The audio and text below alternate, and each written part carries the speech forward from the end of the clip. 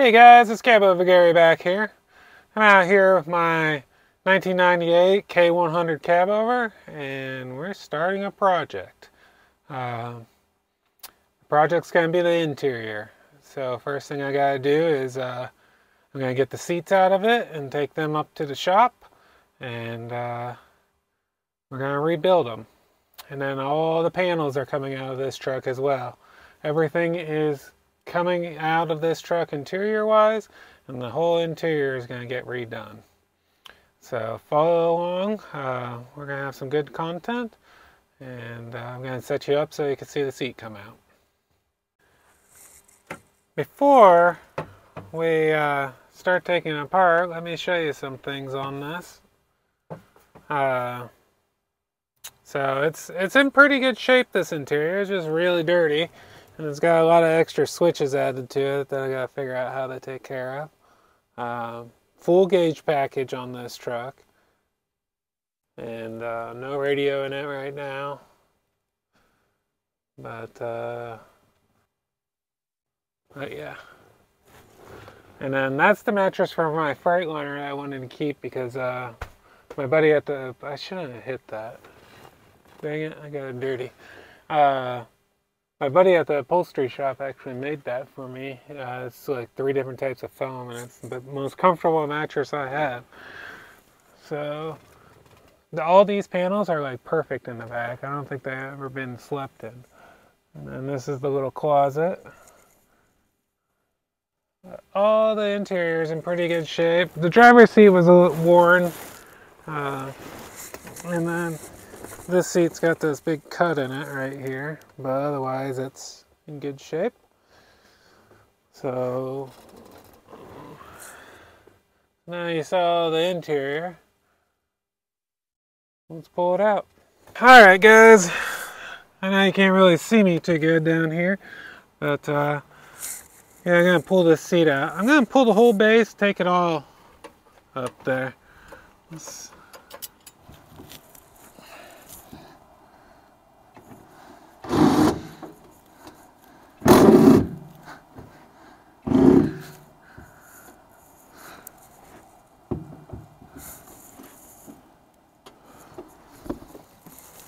think I'm going about this the wrong way. All these bolts need replaced anyways. Just gonna cut them off underneath. I have the jack propped up a little bit just to see what it sits like level right now. So that's why it's sitting unblocked at the moment.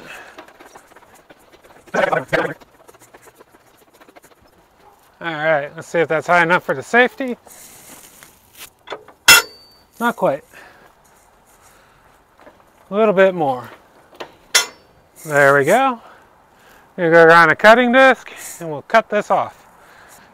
So right up here, there's the four bolts that need cut off. And yes, that is factory, that plywood.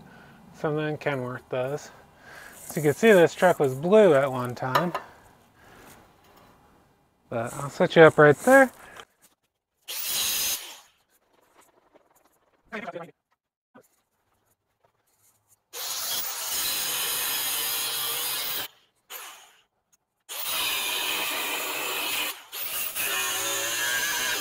Alright, grab a hammer and knock them off.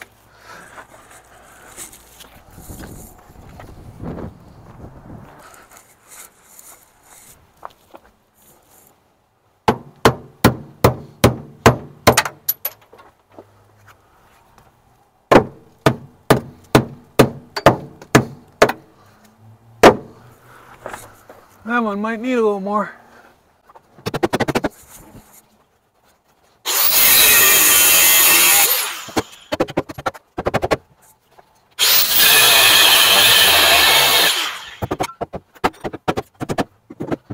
All right, see if that got it free. I would say so. So I'm gonna set the cab back down and I gotta unbolt the seat belts from it and then we'll have it out.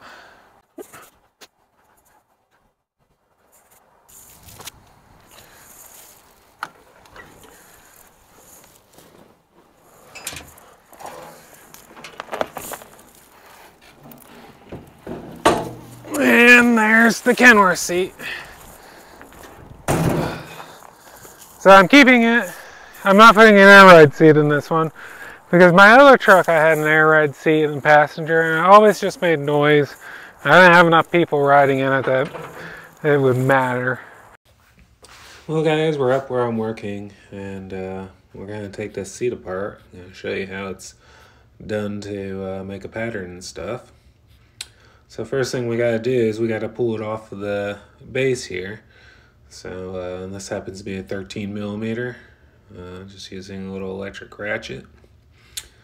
And uh, gonna zip these bolts off. Uh, it's kind of nice having uh, the facility to work on this properly and able to get it done and having good people help me out up there. And it's been a good learning experience working up there. So uh, there's only four bolts holding this seat on. Some of them are kind of back there though.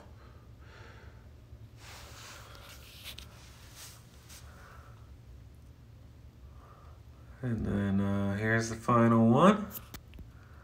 Oh, I'm going to have to do voiceovers on stuff filmed up there because the radio is playing during the day and, uh, you know, YouTube doesn't like that. So, well, that was painless enough to get the seat off of the base. I'm just to set the base on the ground, get it out of our way. That's my buddy Ethan. He works up at the shop as well. And uh, here, they use something called hog rings. And uh, I just got to cut them all free. I'll show you here in a second what they actually look like. But there's a lot of them. And uh, that's what holds the material to the framing of the seat. So I'm just going around here, cutting them all. It's good to have a good pair of uh, side cutters or dikes. Uh, this is a hog ring. And what you do with it is you have these special pliers and when you crimp it, it closes it together and you could crimp it around something and hold it all together. They're used quite a bit in the upholstery world and uh, they work really well and they're really simple and uh, yeah. So here I'm just going to finish cutting them apart. I'm going to fast forward a little bit till I get to something else.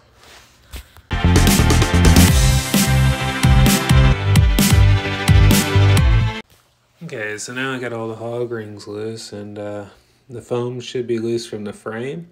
Just kind of fold it over, so just got to get it off of the frame here. And uh, that's about it for removing a cushion from the frame. Uh, just kind of got to feed this through here.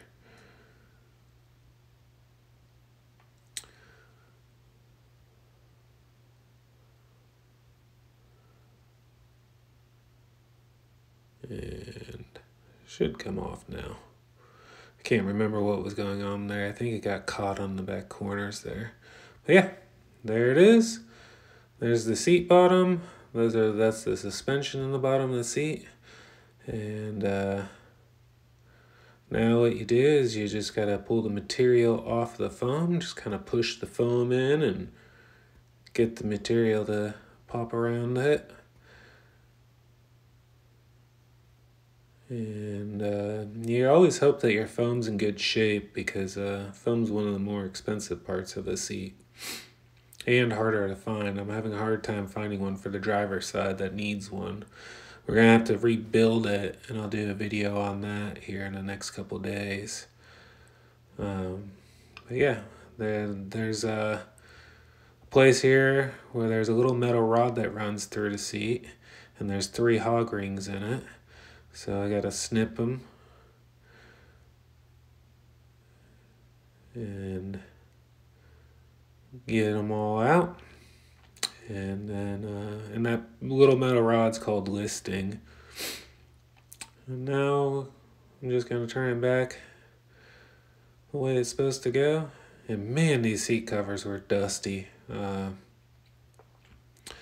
now I'm gonna grab the hog rings out of there now before I forget because they'll uh, tear up the new seed if I don't.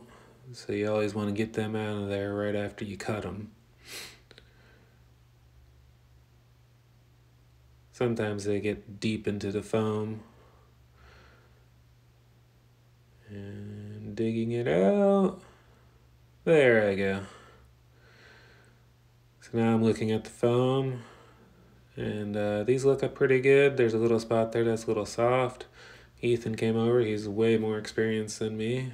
And uh, gave me a little advice there and saying that he thinks it's okay. And now it's uh, time to move on getting the back off of there. Now the foam on this seat uh, is wrapped around the frame here. It does come off, but there's no reason to take it off uh, unless you're replacing it. And these have these like little metal clips. Uh, so what happens is the material comes up and folds over around it. Let's see if I can show you. So now I'm just kind of push those little clips off. The material folds over a piece of sheet metal and those clips go on and kind of just holds it there. Uh, so yeah, so just pushing them off there getting them to come off nicely. And then this one's giving me a little problem there. Uh, they when they're in there for a long times, they kind of like bond themselves to the material, and sometimes they're hard to move. But now, uh, this just has to be peeled off of here. So I kind of just roll it a little bit to get it started. And uh, you kind of want to pull them down pretty equally. That's Andy back there. And uh, see if we could get this position a little better so you guys could see better. And uh, yeah, these are tight on here, but you just kind of push the foam and work them up. And uh, once you get past like this midsection, it'll get a little easier. Being careful not to damage the foam. Uh, I was just pointing out that this uh, seat's set up to be able to take armrests, which I was a little surprised at being a uh, fixed seat passenger seat. And uh, it actually has two hold positions, which I never don't really understand, but uh, kind of interesting, I guess. And that's the sheet metal that those clips were clipped around down there.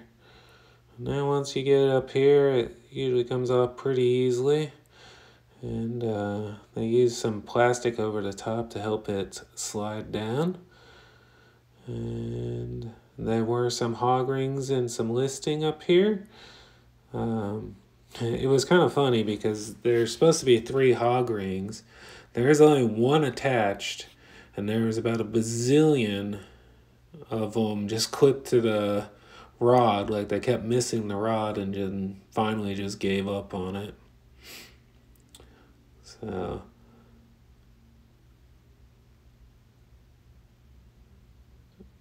Just trying to get the hog ring out around there.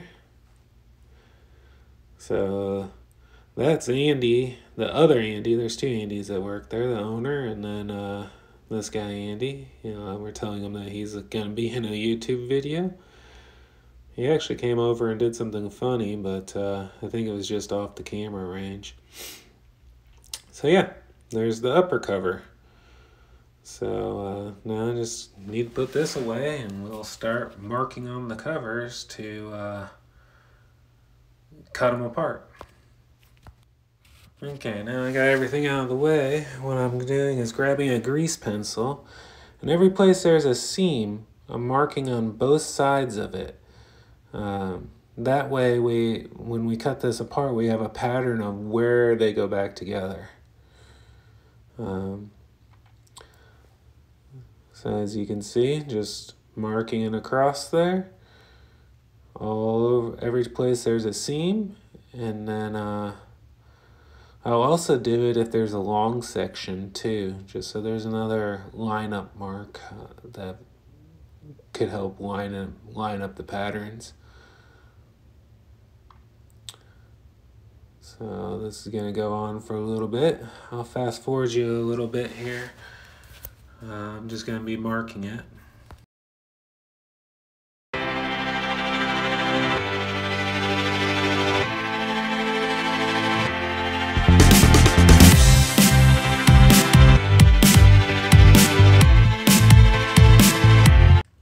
Okay, so here I'm unwrapping a straight razor blade and we're gonna start cutting the seat apart. So what we do is we just find a seam and we start cutting in threads. Sometimes it gets started, you know, if there's a heavy back stitch or something like that, it makes it a little difficult. But uh, yeah, just kind of follow the seams down.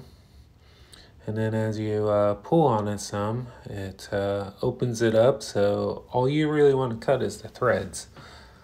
So when you pull on it, it exposes the threads where you could get the razor blade in there easily to uh, cut them.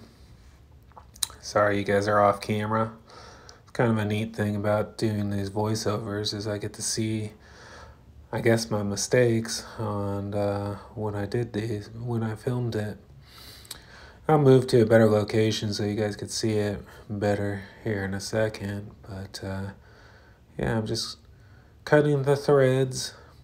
Uh, the goal here is to cut this all apart and we're going to have a pattern, pattern of the factory seat. So, uh, well, and all the lineup marks will tell us like where they need to be lined up to sew together and stuff like that. Here's a little better view and I sped it up a little bit here. But yeah, you can see I'm just following the seam around and uh, there's one piece. That's gonna be one piece we gotta cut out to make the new seat. And then uh, here's another piece coming along here. And we just kind of go around the whole seat like this, getting all the separate pieces out. Uh, the next video I'll show you uh, how we cut the material out and sew it together. Uh, and, well, it won't be the next video. The next video that the seat's in, I guess I should say. Uh, yeah, it's kind of neat process. You're just kind of deconstructing the seat, if you will. And takes them takes me a little bit of time. Uh, the other guys there, you know, they've been doing it longer and better at it. I'm just taking my time and cutting it all apart. It it's, goes pretty good though, uh, in all reality.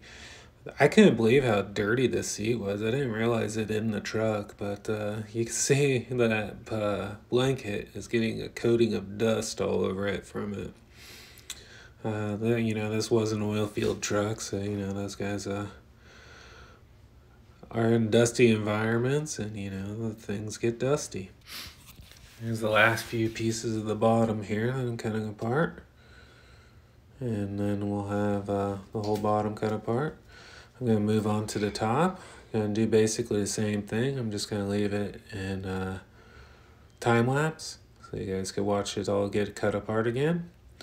Hope you guys find this video interesting. Uh, I find this type of work really interesting and uh, happy I got the opportunity to do it.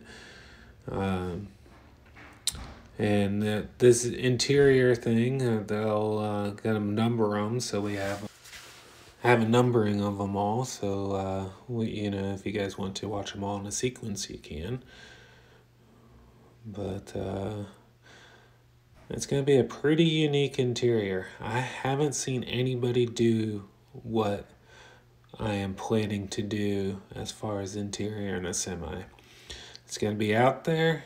I'm going to love it. I think I'm going to get some haters on it because it is uh it is going to be out there.